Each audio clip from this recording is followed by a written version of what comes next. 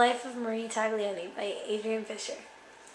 Okay, well, Marie Taglioni was the first dancer to make pointe work really popular, um, and she was known for her graceful arms and being like really light on her feet. And since during her time ballet was like kind of new, and so she made it really enjoyable for people who didn't really know who, what it was. So in 1804, Marie Taglioni was born in Stockholm, Sweden, and her entire family had a history in the arts. Her dad was a choreographer and her mom was a singer. And her dad taught her ballet. And um, she was known for her port de bras, which was taught to her by her dad because she had a back problem. And so she would always have one arm over her head and she would be in a fourth position, um, leaning forward and with her shoulders slightly turned effacé with um, her forefinger by her chin like that. And that became like her signature move and it's used a lot in dances today.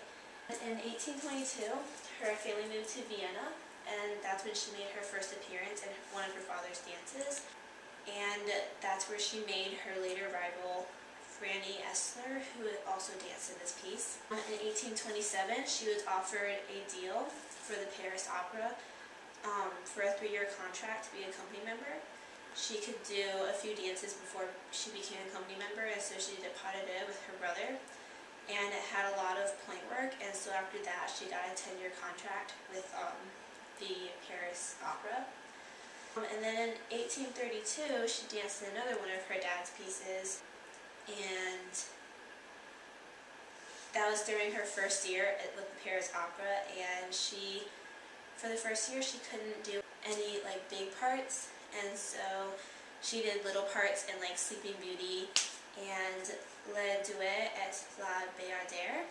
And her father still taught her ballet, and he made sure the choreography like highlighted her special gifts as a dancer.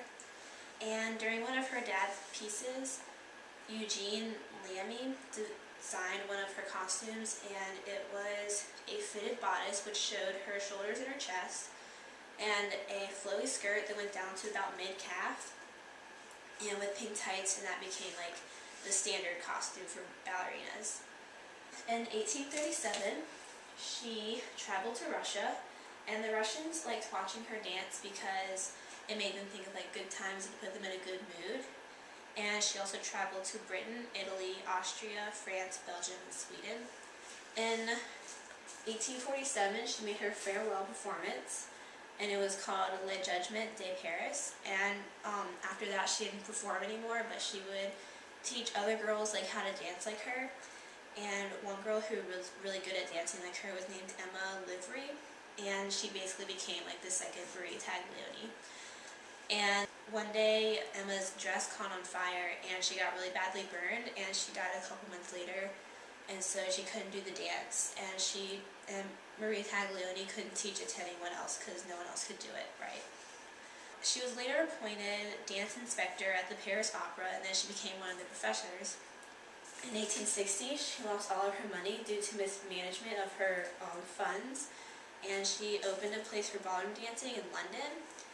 And then in 1880, she retired and lived with her son, Georges, and then died peacefully in her home basically she set the basic positions of the body and set the standard look of the ballerina, which was the dress to mid-calf with um, pink tights. And she added a lot of like fluidity and bounce to her dancing. And so, yeah. Next thing